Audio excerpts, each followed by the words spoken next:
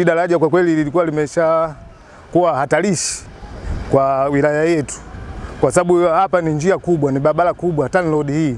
Unaona sasa, kwa watoto wa shule utakuta walikuwa wanapata shida ambao wanasoma ng'ambo ya pili. Unaona mpaka hapa tukae wazazi tuwavushe, tuwasubiri kutoka shuleni tena tuwavushe kuja ng'ambo ya pili. Unaona sasa hivi kwa mwenendo, hatua waliofikia hao wajenzi wamefikia hatua moja nzuri sana ya umalizaji wa daraja. Naona na mwezi wa kumi na moja kumi na mbili unaokuja au mwezi wa kwanza mvua nafikiri zitaanza zikaanza kunyesha. Sasa hapa changamoto iliyoko tu kuhusu hizi gabioni ambazo zinatakiwa ziendelee kidogo huku juu chini huku na huku mbele huku nako ziendelee kidogo. Hapa daraja litakuwa limekazika vizuri.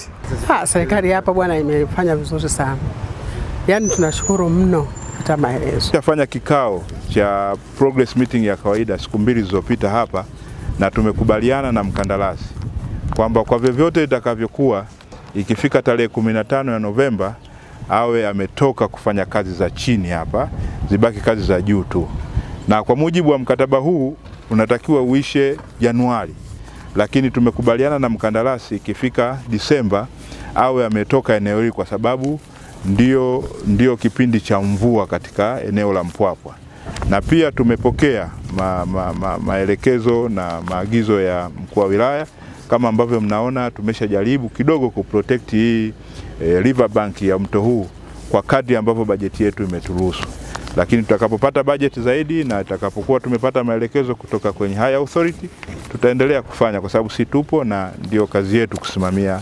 wakandarasi na kusimamia ustawi wa jamii.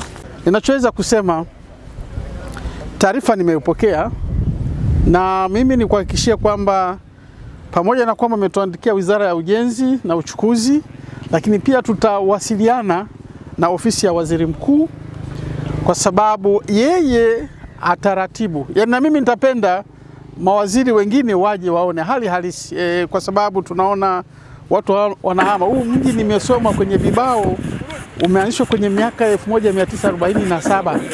DC wa kwanza yuko hapa, walijenga majengo haya. Maana yake ni kwamba mto ulikuwa ni mdogo sana.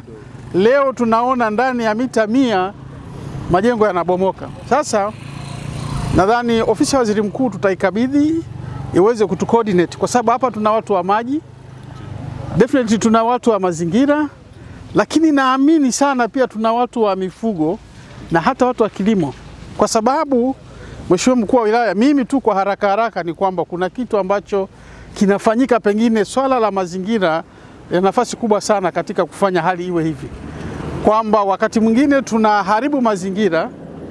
Yawezekana maji yanakuja na maudongo na mamichanga yanajaza lile eneo ambalo maji yatakiwa yapite, kwa hiyo maji yanapanda juu, hayapiti yalipokuwa yanapita, kwa hiyo lazima yatoke na tukishaharibu huko maana tunatengeneza pia maporomoko ambayo yanashuka huko. Kwa hiyo kuna wizara nyingi ambazo nadhani zinahusika. Kwa hiyo mimi nikiri kwamba kwa kweli hapa pana changamoto, na sisi kwa maana ya ujenzi, kama tutapata fund tutafanya, kwa sababu tunaona bila kufanya hivyo intervention ya haraka, kuna watu wengi wataendelea kuhama, na naamini swala hili serikali italichukulia kwa uzito unaostahili.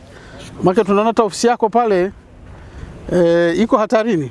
Tunaona hospitali iko hatarini, makazi ya wananchi wako hatarini, nguzo za umeme ziko hatarini. Kwa hiyo nadhani kuna haja kubwa sana ya kulichukulia swala hili kwa umakini. Kwa mimi niseme tu, nimekuja kukagua daraja, lakini kuangalia kazi inayoendelea, kazi nzuri, lakini pia sasa, baada ya kuona hii changamoto, nadhani kuna haja ya serikali kutafuta fedha ili kunusuru maisha ya Wanampwapwa.